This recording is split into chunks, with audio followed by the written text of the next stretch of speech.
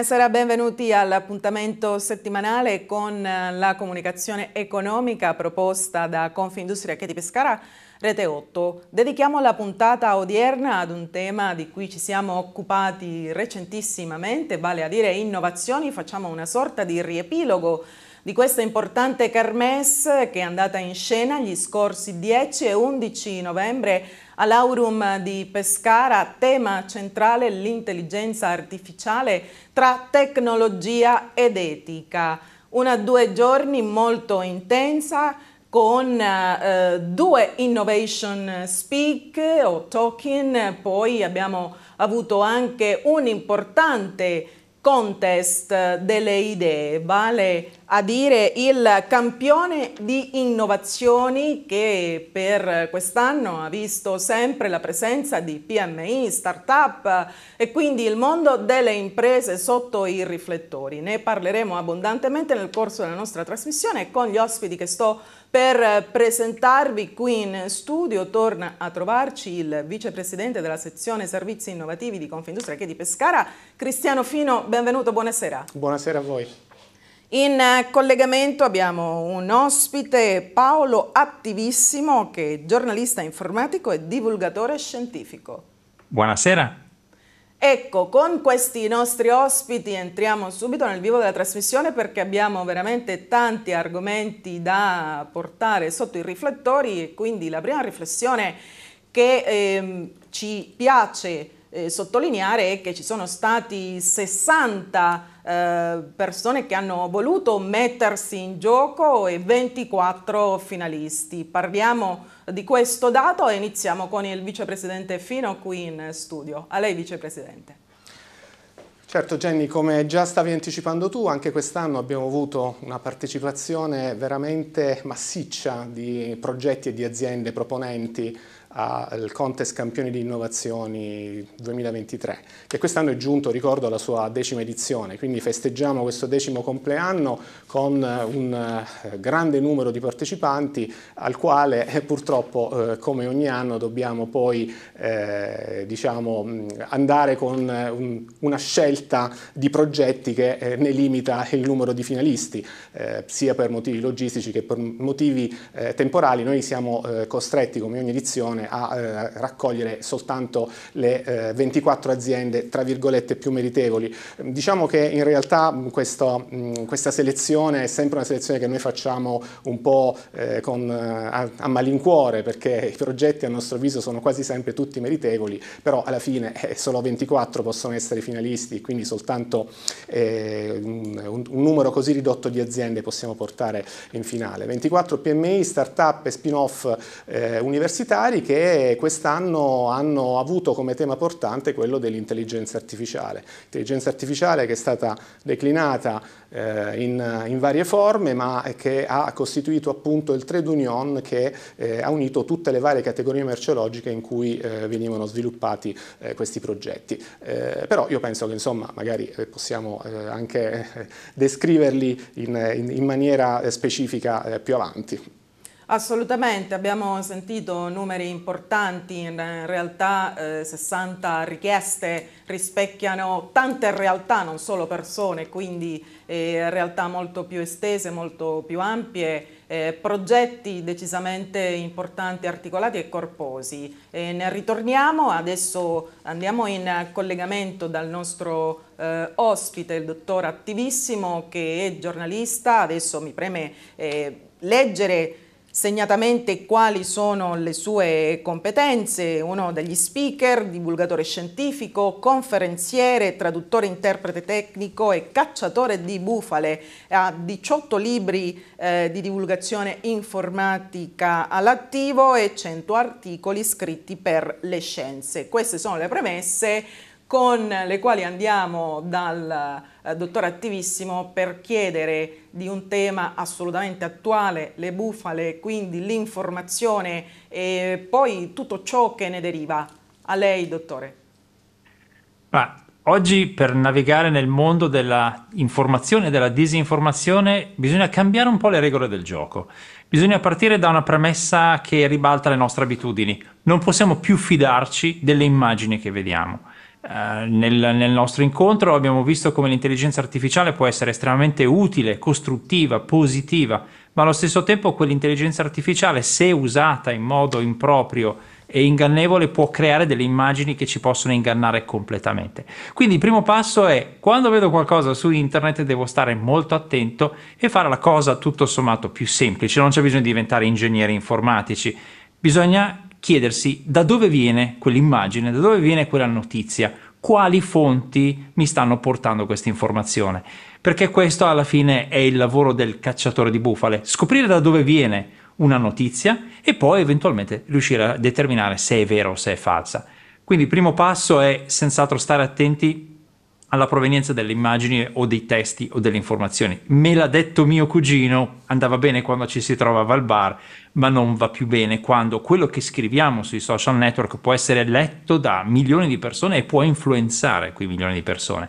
Quindi una grandissima attenzione. Poi ci sono anche degli strumenti tecnici molto interessanti, basta imparare a usare la ricerca per immagini di Google per sapere da dove viene una fotografia, un'immagine che vediamo in giro, oppure semplicemente cercare, mettendo fra virgolette, il testo, una, una citazione, un nome citato nell'articolo che leggiamo, per scoprire da dove viene e vedere che cosa ci dice Google. Già questo da solo riesce a eliminare gran parte delle bufale che vediamo in giro. Attivissimo è ovvio che il fact-checking eh, mm, si basa su uh, tanti fattori, quindi bisogna avere anche un pochino di competenza. Uh, però uh, lei mi insegna che molte volte non è solo il cugino di cui prima che va a riferire di una data realtà, molte volte vediamo delle informazioni su testate giornalistiche e, e su fonti che riteniamo attendibili in questo senso, come ci si orienta? Beh, eh, bisogna partire dal presupposto che chi lavora sbaglia e quindi può capitare, anche nel lavoro del giornalista più competente, che ci sia un inciampo, un incidente. Purtroppo eh, forse non molti ascoltatori, molti spettatori sono al corrente della situazione, ma nel mondo giornalistico c'è una grossa crisi eh, dal punto di vista della disponibilità economica. La pubblicità oggi va sui social network, non va più sulle pagine dei giornali, quindi diventa difficile pagare giornalisti e professionisti del settore. Questo ha ridotto moltissimo le disponibilità economiche dei giornali e questo significa che sono sotto pressione anche i giornalisti che hanno pochissimo tempo. Aggiungo anche un altro dettaglio che forse è poco conosciuto quando si è in redazione, i tempi di pubblicazione, cioè da quando arriva la, la notizia di agenzia a quando si va in uh, online, quando si pubblica la notizia, devono essere strettissimi. Stiamo parlando di manciate di secondi, perché altrimenti tutti i risultati dei proventi pubblicitari andranno a qualche altra testata che è stata un pochino più veloce. Quindi siamo molto sotto pressione tutti quanti. Proprio per questo dobbiamo essere cauti e una delle chiavi fondamentali per capire se una notizia è vera o è falsa è chiedersi ma se fosse vera, quali sarebbero le sue conseguenze? Eh, stiamo vedendo per esempio delle immagini di una leggenda metropolitana molto diffusa, si pensava qualche tempo fa che eh, le persone si sbarazzassero degli alligatori buttandoli nelle fogne di New York e poi da qui sarebbe nata la leggenda delle tartarughe ninja. Non è vero, non è mai successa questa cosa, ma negli anni 70 soprattutto questa era una storia popolarissima e questo è l'altro elemento fondamentale. Dobbiamo essere molto cauti nel guardare da dove vengono le informazioni. Eh, il passaparola, che funzionava in passato attraverso tecniche molto più lente, il, l'incontro pubblico, la chiacchierata, oggi passa attraverso i social network che amplificano questo tipo di disinformazione. Aggiungiamoci, eh, come vediamo nel, nella grafica, anche la pubblicazione da parte di eh, governi di eh, organizzazioni che vogliono mantenere il controllo sull'informazione e cercano quindi di sabotare l'informazione corretta. Non è facile muoversi in questo campo, proprio per questo esistono i fact checker, cioè persone, organizzazioni che si adoperano con degli strumenti tecnologici, con la loro competenza tecnica nei singoli settori, per capire se quello che è stato affermato da qualcuno è corretto o meno e poi in base a quello dare un consiglio a chi poi vuole informarsi correttamente. Si può fare, non è facile. Il primo passo però è fare un passo indietro come lettori e cercare di non farsi sedurre dalle idee che vediamo online e che magari confermano un po' le nostre paure, i nostri pregiudizi. Di solito questi sono degli agganci tipici di chi vuole fare disinformazione, raccontarci quello che vorremmo farci sentire. A volte dovremmo sentire anche qualche campana diversa dalla nostra. Decisamente, mi piace molto questa sottolineatura che ha fatto legata alle dinamiche della editoria eh, nei giorni d'oggi e la riflessione va soprattutto alla ripercussione che hanno queste dinamiche sui più giovani.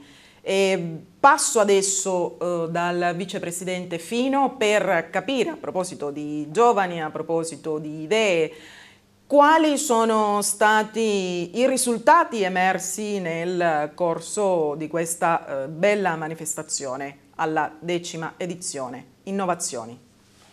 Beh, eh, per prendere un pochettino la palla al balzo rispetto a quello che diceva prima Paolo. Eh, Paolo citava l'intelligenza artificiale che a volte può essere utilizzata in termini negativi e per tutto ciò che riguarda la creazione di notizie false, di fake news, sicuramente negli ultimi tempi è, è, stata usata e abusata in maniera impressionante, però poi esiste anche l'intelligenza artificiale utilizzata eh, per scopi insomma, positivi, per scopi utili ed è quella che è stata eh, sostanzialmente protagonista dei progetti che hanno vinto quest'anno ad innovazioni.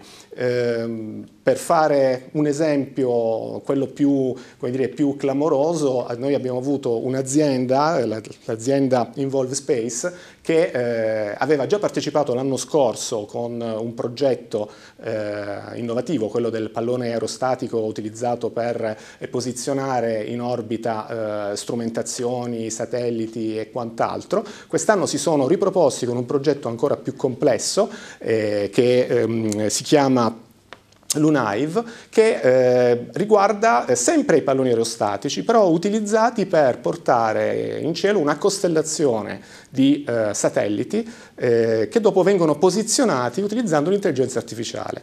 E la cosa ehm, eccezionale di questa, di questa, soluzione è che il posizionamento di questi, di questi satelliti, sempre in un'ottica completamente green, qual era quella dell'idea originale del progetto che ha vinto l'anno scorso, è, è quella di utilizzare le eh, correnti ascensionali e discensionali presenti nella, nella nostra eh, stratosfera per far muovere i palloni aerostatici, quindi senza utilizzare i motori. E il calcolo di queste rotte viene fatto appunto tramite l'intelligenza artificiale. Quindi questo è un uso estremamente eh, positivo, estremamente utile di, un, di, di, una tecnologia che a molti può fare paura, però diciamo, a coloro che ne sanno utilizzare i vantaggi eh, diciamo, migliori porta ottimi, ottimi risultati. E eh, diciamo, allo stesso modo la stessa tecnologia viene utilizzata nel progetto di Ganiga Innovation, che è questo ULID Smart Bin, no? un, un, cestino intelligente che eh, sostanzialmente riesce a riconoscere tramite l'utilizzo di eh, videocamere, sensori, pilotati anch'essi dall'intelligenza artificiale, la, eh, la, tipologia di rifiuto che viene messa nel, nel, nel, cestino. Quindi io non dovrò più fare la differenziata andando a cercare eh, la tipologia di oggetto, oggetto, butto in un unico, in un unico cestino il prodotto e all'interno di questo cestino ci sono dei flussi d'aria che automaticamente lo spostano nella, nel, nel, cestello adatto. Anche questa grandissima innovazione, eh, mi ricordo che durante la presentazione eh, entrambi, eh, sia la presentatrice Paola Catapano che la professoressa Lux, subito chiesero dove si poteva acquistare questo prodotto perché sicuramente è un prodotto che tutti vorremmo avere a casa. Chiaramente al momento ha delle, eh, degli utilizzi principalmente industriali, eh, però ci hanno detto che lo stavano già eh, sviluppando ed evolvendo per un eh, utilizzo più, eh, più, casalingo, quindi più, più consumer. Naturalmente anche eh, gli altri, gli, altri, progetti del, del, del contest sono stati diciamo, pilotati, hanno avuto come, come dicevo prima come trade union l'intelligenza artificiale. Uno di questi è ehm, quello che ha vinto la società Ganiga Innovation che ha presentato, mm, eh, no scusatemi, la, eh, società, la società Safety Environmental Engineering con il progetto Simon che eh, anche questo è un progetto che eh, riguarda sostanzialmente il green perché si occupa del, ehm, dell'ottimizzazione dei pannelli solari. Ehm, I pannelli solari eh, sono eh, diciamo un, un oggetto che negli ultimi anni è stato utilizzato molto nell'ambito delle energie rinnovabili però ha un problema, eh, diciamo l'energia che viene prodotta eh, tende a deteriorarsi se i pannelli non sono alla massima efficienza. Loro hanno ideato un algoritmo, basato anche questo sull'intelligenza artificiale, che prendendo i parametri standard che vengono normalmente eh, generati dai eh, dispositivi presenti, dai controller che sono all'interno dei, dei, pannelli solari, eh, utilizzando questi numeri, questi valori riescono a calcolare e preventivare l'eventuale danno o manutenzione dei pannelli per ottenere la massima ottimizzazione. Molto interessante la regia di Andrea Di Fabio sottolineava le sue parole con le immagini eh, dell'evento e quindi abbiamo intravisto anche le specifiche eh, tipicità di questi progetti che venivano ehm, nominati e quindi tanta tecnologia legata a eh, tematiche che interessano la nostra quotidianità, vale a dire eh, il riciclo oppure l'ottimizzazione delle eh, risorse energetiche. E vado dal dottore attivissimo. Quali sono gli sbocchi eh, della tecnologia, della intelligenza artificiale legata appunto all'uso quotidiano, ma non solo? Quali sono i trend? Ma i trend sono fondamentalmente quelli di facilitare le nostre attività quotidiane, nelle piccole cose. Quando già adesso, quando faccio una richiesta vocale al mio telefonino perché ho le mani impegnate, quando chiedo al mio assistente vocale di impostarmi un timer in cucina perché ho le mani sporche di farina, perché sto facendo qualcosa, sto rivolgendomi all'intelligenza artificiale. Oggi si va verso soluzioni nelle quali tutti possiamo essere partecipi e eh, faccio per, per, esempio si può chiedere come ho fatto io mentre stavo tornando eh, a Lugano dove abito da, dopo innovazioni eh, durante, sul treno io ho chiesto a ChatGPT alla nuova versione di ChatGPT creami della grafica per un articolo che devo pubblicare e l'ho fatto semplicemente descrivendogli che cosa mi serviva. Lo ha fatto in una manciata di secondi e questo credo che sia rivoluzionario, poter accedere a creatività, a eh, opportunità di arte. Magari non tutti sono d'accordo sull'uso di questo termine applicato a una macchina, ma alla fine c'è una persona che ha un'idea e che invece di doversi rivolgere a un grafico, a qualcuno, a un professionista, con dei costi che magari non può sostenere umanamente, può rivolgersi a un sistema di intelligenza artificiale e farsi fare un oggetto o un'arte su misura. Penso all'ottimizzazione di tantissimi processi, sia industriali, sia a, a, livello del cittadino. Abbiamo sentito prima parlare del progetto del bidone che eh, smista automaticamente i rifiuti, lo voglio anch'io, ma nel frattempo sappiamo che le industrie possono già beneficiare dalla versione su grande scala. Il riconoscimento delle immagini è fondamentale. Pensiamo a piccole cose come l'antifurto che abbiamo in casa con le telecamere che sorvegliano i vari ingressi sarebbe tedioso guardare ore e ore di registrazioni. L'intelligenza artificiale ci può evidenziare i momenti più interessanti, quando è successo qualche cosa, lo può fare perché riconosce i momenti in cui c'è un suono particolare, una situazione, un'immagine che può essere quella di una persona che si avvicina al nostro campanello o altre cose di questo genere. Quindi non sono applicazioni astratte.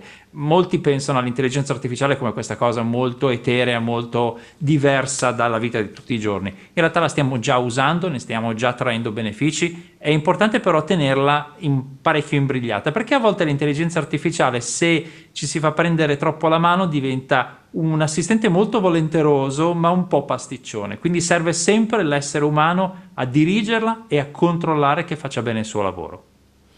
Legatamente al discorso della creatività che lei prima ha esposto, mi viene da chiederle, perché questa è una mm, considerazione che ricorre spesso in tanti articoli e in mm, determinati ambienti, legato al discorso della um, creatività, diritto di autore, eh, la capacità comunque sia di eh, tutelare quelle che sono eh, le attività che noi conosciamo eh, da sempre legate appunto al discorso della creatività e del saper fare. Qual è il suo punto di vista? Eh, questo è uno dei più grossi problemi che sta uh, circondando l'intelligenza artificiale nelle sue applicazioni, soprattutto alla grafica, ma anche alla generazione di testi. Eh, c'è una lunga serie di liti legali in corso, di decisioni che vengono prese dai massimi esperti per cercare di capire se sia lecito, per esempio, per un'intelligenza artificiale, leggere tutto quello che abbiamo mai postato su Facebook, oppure leggere tutti i libri di tutte le biblioteche del mondo e poi utilizzarli per fare profitto. E gli autori dei libri dicono no, non è giusto perché io ho lavorato, io ho scritto il libro, tu adesso te lo sei letto rapidamente e stai facendo una copia di quel libro. Molti artisti, per esempio, nel settore grafico, si sono lamentati del fatto che oggi è molto semplice con prodotti come Dali o Mid Journey chiedere fammi un quadro, fammi un'illustrazione nello stile di, nello stile di Mondela, nello stile di Picasso, nello stile di Frank Frazetta, qualunque cosa può essere imitata. E questo significa diluire il valore dell'arte fatta dagli esseri umani. Dove andremo da queste parti non lo si sa esattamente perché va deciso qual è, qual è il valore che vogliamo assegnare all'originalità e qual è il valore che invece vogliamo assegnare alla facilità di accesso. Ci sono due mondi che si stanno scontrando, quello di chi sa fare e di chi vorrebbe fare ma non è capace, come me, di disegnare per esempio, e vorrebbe quindi utilizzare questi strumenti come una sorta di pennello molto sofisticato però è giusto rispettare anche ovviamente il talento di chi invece queste cose le sa fare a mano. Decisamente questo è un punto cruciale, come ben diceva eh, prima ci sono cause e sicuramente si andrà verso una definizione normativa anche in questo senso. Ehm, qui in studio con il vicepresidente Fino continuiamo a parlare di eh, campioni di innovazioni, tentiamo di capire quale altra realtà è stata messa in evidenza durante queste eh, due giornate? Ecco, voglio riprendere un attimino il, alcuni dei concetti espressi prima da, da, Paolo Attivissimo. Quando parlava di intelligenza artificiale, sostanzialmente lui insomma, ci spiegava che eh, alla fine dei conti l'intelligenza artificiale ha il, il grosso merito di riuscire a fare in brevissimo tempo quello che eh, un umano non riuscirebbe a fare. E questo perché? Perché riesce a elaborare eh, migliaia, centinaia di migliaia, anche di milioni di informazioni eh, al secondo e tirare fuori da queste informazioni eh, il risultato più utile. Ma naturalmente queste informazioni da qualche parte devono essere prese, no? E le informazioni chi è che le genera? Le generano eh, gli uomini, le generiamo noi. Quindi diciamo eh, il cosiddetto concetto collegato ai, ai, ai big data, no? è eh, legato in maniera indissolubile all'utilizzo dell'intelligenza artificiale. E, ehm, questo ci porta a parlare di uno dei, dei vincitori del, del, premio campione di innovazioni che mh, aveva poco a che fare con l'intelligenza artificiale, però aveva molto a che fare con il concetto di dato. Eh, il progetto del, della, dell'azienda Willisi L'azienda Willisi ha sostanzialmente creato una, una web app collegata poi anche a un'app mobile che sostanzialmente che cosa fa? Crea una sorta di eh, grandissimo database sull'accessibilità delle eh, locazioni turistiche che possono essere alberghi, ristoranti, B&B, ehm, insomma tutto ciò che sostanzialmente riguarda l'hospitality in genere.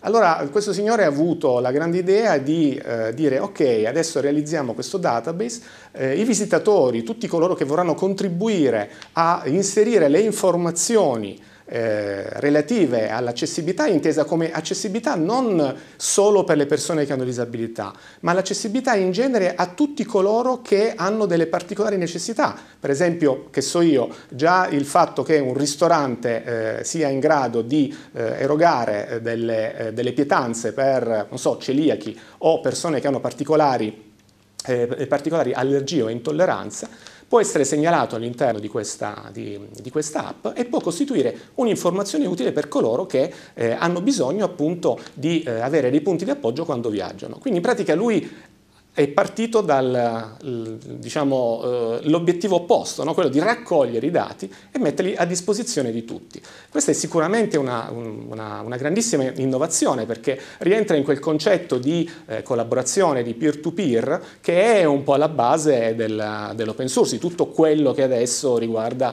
la, eh, la grande rete ed è sostanzialmente un'applicazione estremamente democratica perché non si rivolge soltanto ad alcune particolari categorie, come dicevo prima, quelle che per esempio potrebbero avere delle disabilità, ma tutte le categorie che hanno una necessità specifica. Per esempio, che so, se io ho un cane di una certa taglia, devo poter sapere se ci sono delle strutture quando io viaggio che sono in grado di ospitarlo, oppure se ad esempio ho eh, delle particolari esigenze in termini di accesso alla eh, rubinetteria o ai servizi igienici, devo poterlo sapere. Quindi quest tutte queste informazioni vengono raccolte dalla, dalla sua applicazione e possono possono poi essere eh, messi a disposizione. In più lui ha utilizzato un, un sistema che è inserito all'interno dei moderni iPhone, il servizio LIDAR, che sostanzialmente permette di fare un'analisi eh, tridimensionale di un, di un ambiente a cui poi possono essere associate delle quote, quali possono essere le altezze delle maniglie, degli interruttori, eccetera, eccetera. E in base a questa analisi poi questi dati possono essere inseriti all'interno di questo grande database. Naturalmente poi ci sono degli algoritmi anche su questa applicazione basate su l'intelligenza artificiale che consentono poi di estrapolare i dati in funzione delle richieste degli utenti. Quindi questa mi sembra sicuramente un'applicazione un che va incontro a eh, sia la parte umana che alla parte automatizzata, oltre che essere molto importante nell'ambito del sociale.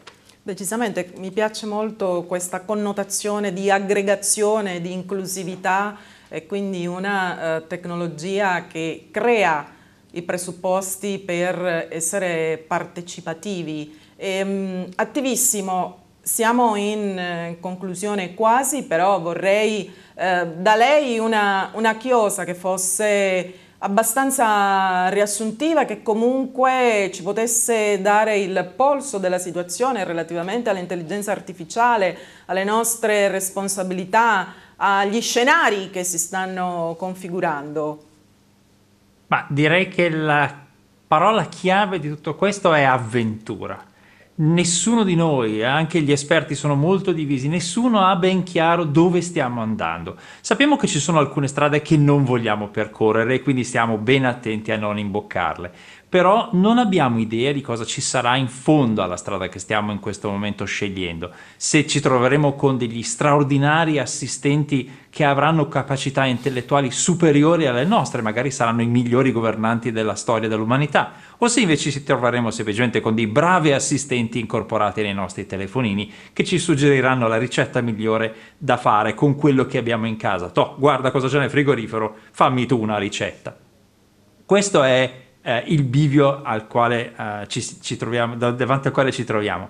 Avventura perché questo è un compito per i giovani che hanno le risorse per conoscere questo mondo nuovo con occhi nuovi perché noi siamo partiti da un modo diverso di fare la tecnologia. Loro nascono, come dire, freschi, pronti a acquisire nuove idee, nuovi approcci e a sfidare, soprattutto con un messaggio fondamentale loro molto spesso non sanno, a differenza di chi magari ha qualche anno sulle spalle, non sanno che è una cosa impossibile e quindi riescono a farla. Eh, questo è bellissimo, sicuramente sì, audacia e fiducia e voglia di avere uno slancio. Però ha detto una cosa che vorrei riprendere velocissimamente. Ha detto sappiamo quali sono le sfide e sappiamo dove non vogliamo andare. Abbiamo già detto che non vogliamo andare verso la disinformazione, poi dove altro non vogliamo andare? Non vogliamo andare verso un mondo dove ci sono pochi che hanno il controllo di tutte le informazioni, pochi che hanno in mano questi grossi sistemi di intelligenza artificiale e invece forse vogliamo andare verso un mondo dove ci sia più eguaglianza, più equità, dove non ci sia la, il rischio che qualcuno prenda il nostro lavoro, la nostra mappatura degli alberghi accessibili e se la metta in un archivio al quale poi bisogna accedere soltanto pagando.